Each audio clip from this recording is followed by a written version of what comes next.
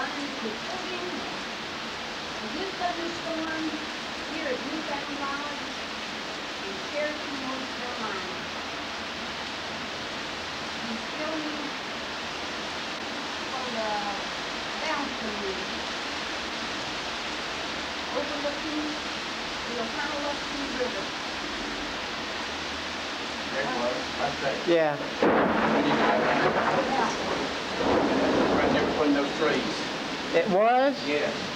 Did that at, in Mike Crane's at Dayton. I didn't let you do it. You did it, and I I thought you were on the inside looking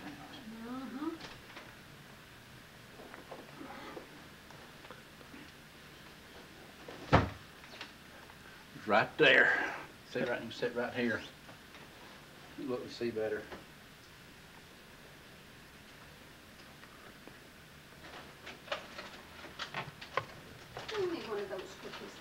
It's not 448, it's 548. We're in Eastern time zone, but we just didn't set the clock.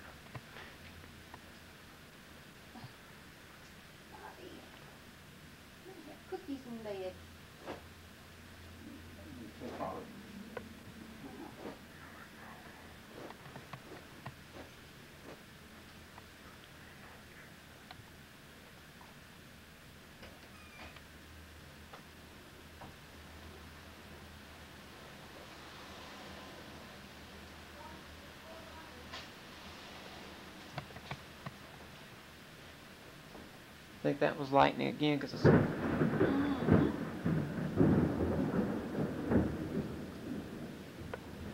That thunder sounds so good.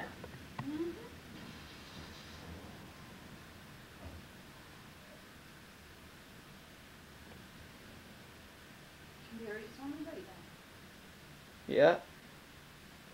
Surprised it only appears as dark green.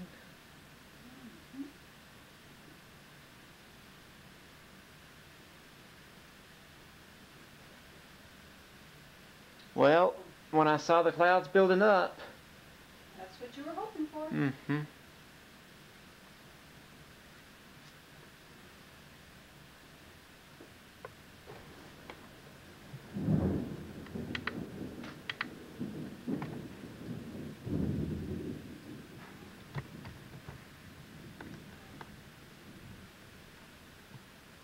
Uh-oh. What? The battery's running low.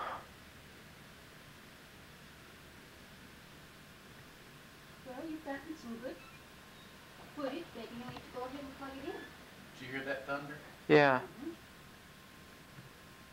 People above us are from Locust Fork, White County.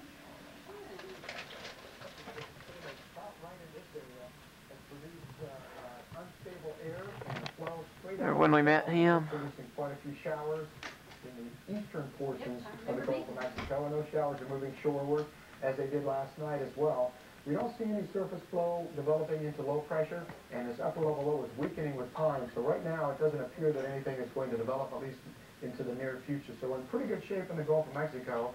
Over to the western portions of the Gulf, very light winds and seas less than three feet, great for mariners, even in small vessels. Now out into the Caribbean we go. We've been monitoring some showers over the northern Caribbean islands associated with this elongated trough axis. An upper level low out in here has pushed some of these showers into the central Caribbean.